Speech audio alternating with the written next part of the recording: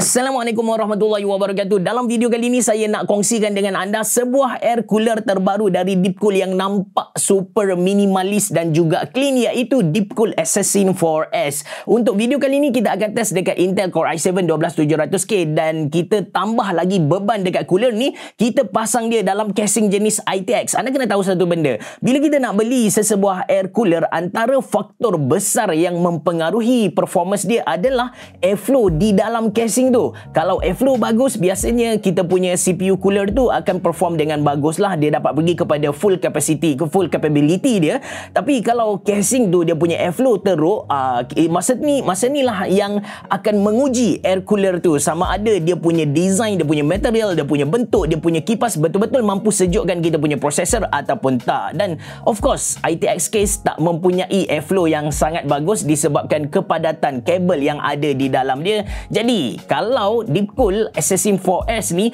mampu sejukkan Intel Core i7 12700K especially masa kita main game memang anda patut belilah. Tanpa berlengah lagi anda bersama saya Asraf Jafri dalam channel YouTube Mona Lisa kalau anda belum tekan butang subscribe pastikan anda tekan butang subscribe dan juga button loceng yang ada dekat tepi dia. Ok ini dia punya packaging memang minimalis memang Deepcool dari tahun lepas lagi dia punya packaging menarik perhatian saya. Kalau kita beli di dalam kotak ni dia ada ada bagi kepada kita satu kotak-kotak yang mana di dalam ni ada bracket-bracket. Lepas tu dia bagi juga kepada kita thermal paste yang apa besar. Ini adalah Deepcool DM9 1.5 gram. Harapnya dia dapat sejukkan kita punya processor nanti.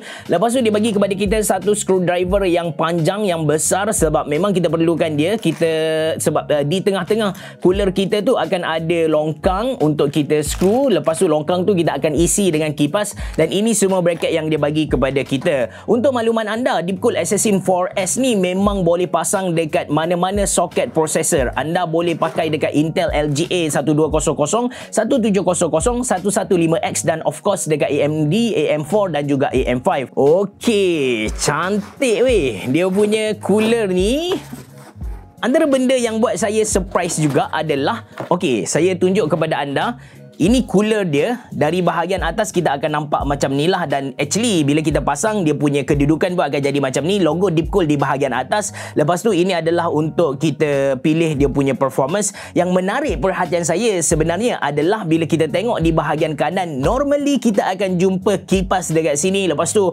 dia akan pergi ke heatsink lepas tu dia pergi ke kipas dia pergi ke heatsink balik. Tapi kali ni untuk deep cool Assassin 4S ni dekat depan tak ada kipas dekat belakang pun tak ada kipas. Kipas kipas dia berada oh sorry kipas dia berada dekat tengah-tengah ni. That's why dia bagi kepada kita screwdriver yang besar gedabak ni. Untuk projek kali ni sebab kita akan guna Intel Core i7 12700K maka untuk motherboard saya pilih CVN B660i Frozen. Kita akan pasang kita punya processor dekat sini. Nak pasang processor tak susah pun anda boleh tengok ada lekukan ataupun notch di bahagian atas dan juga notch di bahagian bawah. Kita buka lepas tu kita lagakan dengan notch yang ada di soket processor letak kasih align tutup dahulu dan kita tarik. Automatically dia punya cover plastik ini akan terlompat keluar lah ha, dia akan keluar. Anda tak perlu nak cabut manually. Lepas tu barulah kita pasang kita punya kita punya air cooler Assassin 4S ni ok ambil kotak aksesori tadi. Lepas tu kita kena ambil bracket Intel lah. Actually dekat bracket ni ada tulis perkataan Intel. Dia dah label siap-siap kepada kita cuma saya tak pastilah dalam video anda boleh nampak ataupun tidak.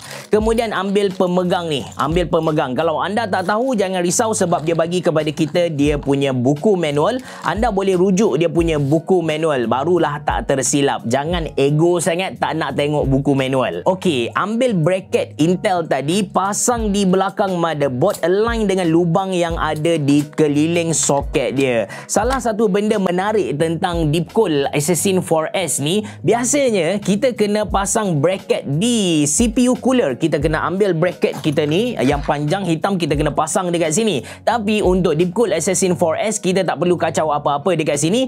Kita terus pasang dekat dia punya bracket di motherboard. Ha, so kita lepas kita dah uh, align dia punya bracket tadi, tapak tadi, kita pun kita pun ambil skru yang ni yang ada lubang di bahagian bawah, kita pasang. Bila dah pasang ke empat-empat tapak tadi, kita ambil bracket yang ni, kita masukkan sahaja. Kita masukkan sahaja di sini dua-dua side. Lepas tu kita ambil skru satu lagi, kita ketatkan terus. Alright, settle pasang bracket dekat motherboard. Kita kembali ke kita punya cooler Assassin 4. Macam saya bagi tahu kepada anda tadi, bila kita pasang sepatutnya orientation dia akan jadi macam ni lah. Logo Deepcool di bahagian atas. Dekat bawah ni ada switcher sama ada kita nak pilih quiet mode ataupun performance mode. Untuk akses ke dalam cooler ni, kita just cabut macam ni. Dia pakai magnet and kita tekan dekat bahagian hujung-hujung untuk dapatkan dia punya kipas. Dia bagi kepada kita satu kipas 120mm yang agak besar. No, no, no, no, no. This is 140mm. So, nanti kita akan ketatkan dekat bahagian dalam tu. That's why kita kena ambil dia punya screwdriver. Kita masukkan dekat sini dan kita pusing. Ah, inilah function screwdriver yang besar gedabak ni. Jangan hilangkan kalau anda hilangkan susah anda nak jual nanti. Ambil semula kita punya motherboard ni. Sebelum kita lekatkan CPU cooler ke motherboard ni pastikan pasang dulu thermal paste. Letak dulu thermal paste. Ini adalah Deepcool DM9 Ha, besar gila. Kita ambil dia dulu. Kita letaklah seberapa banyak yang kita nak. Actually, Deepcool pun ada bagi kepada kita satu spoon. Satu spatula. Spatula untuk kita ratakan ha, dia punya dia punya dia punya thermal paste ni. Okey, sekarang kita ambil CPU cooler yang besar gedabak ni. Letak macam ni. Lagakan dengan skru di bahagian bawah. Just nice. Logo Deepcool ada dekat bawah eh. Ha, dia punya airflow macam ni. Lepas tu ambil screwdriver dia yang besar gedabak ni.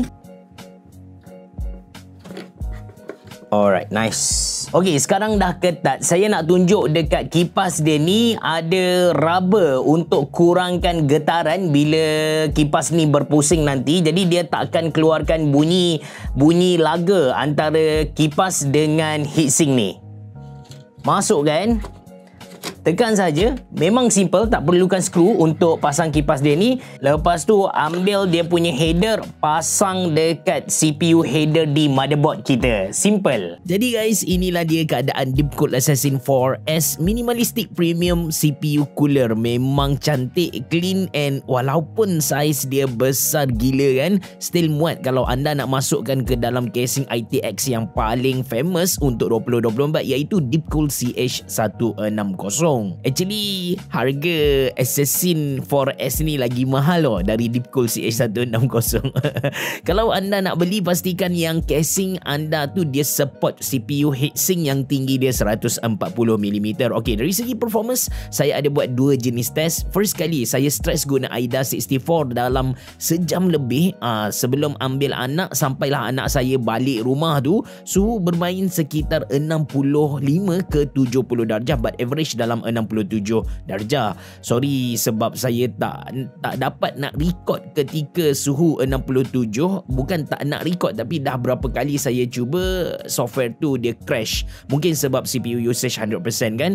Dan saya test saya test dengan beberapa game yang famous di kalangan rakyat Malaysia cuma saya tunjuk kepada anda Apex Legend dan juga GTA 5. Saya test dengan i7 12700K 4K resolution dengan ultra setting tapi CPU usage macam anda dapat tengok tak sampai 50% pun. So, suhu memang rendah lah. Kadang-kadang ada heat 60 darjah tapi biasanya main sekitar 50 hingga 55 darjah sahaja.